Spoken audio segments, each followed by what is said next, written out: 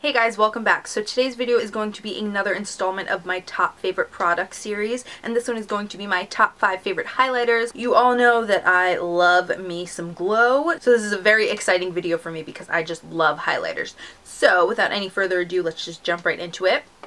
Okay, I'm going to start off with my favorite drugstore highlighter. I only have one because I honestly, I think I've only tried like two or three drugstore highlighters and this is the only one I've ever liked. And that is the Prestige Skin Loving Minerals Sun Baked Mineral Bronzing Powder in Pure Shimmer. Mine is broken actually, so I'm just going to like pop off the lid and let you see it. It's just like a nice baked like shimmery. It kind of looks like Soft and Gentle. I don't own Soft and Gentle, but I feel like it looks like it, just not as like glittery, but it is really gorgeous and pigmented. It ah, it's just beautiful. I love this. It's really nice and smooth. It's great quality for being a drugstore blush. It's a huge highlighter. Like I'm never gonna run out of this and I absolutely love it. It is beautiful on the cheek. It's kind of like the drugstore version of Mary-Lou Manizer which is another one of my favorites. Really really love this and if you can pick this up I definitely recommend it and then my next favorite is one that is the one that I just mentioned, which is the Balm's Mary-Lou Manizer highlight. This is probably my top favorite highlight of all time.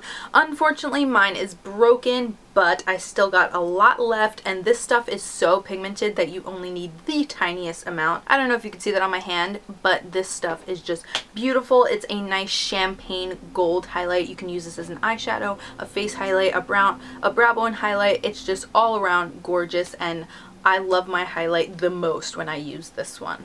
My next favorite highlighter is the Stila All Over Shimmer Duo in Kitten. This actually has two highlighters in one. It has a more, uh, like a darker, more bronzy one, and then a pink, a pinkier one.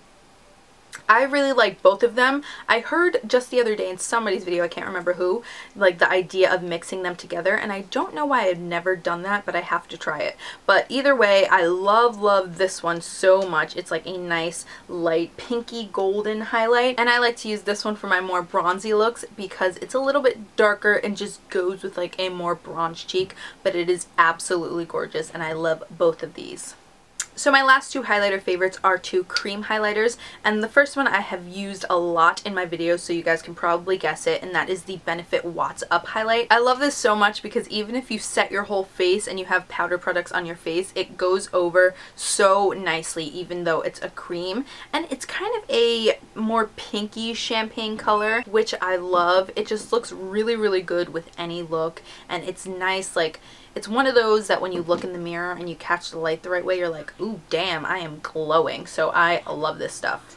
And then my last highlighter favorite is a fairly new one to me, and that is the MAC Cream Color Base in the color Hush. And I know a lot of people talk about the cream color base in like Shell and Pearl, but I went to the MAC store and I saw this one, and it just looks so much prettier to me. And this is my favorite highlight for like an everyday basis because it's just so natural. And I have it on today, and like you can tell I have a glow, but it's not like too apparent and too over the top. This is the this is the highlight I like to wear to school and and like work and stuff because it's not overdone but you still have like that nice natural glow and it kind of blends into your blush color because it's more of a pinky tone.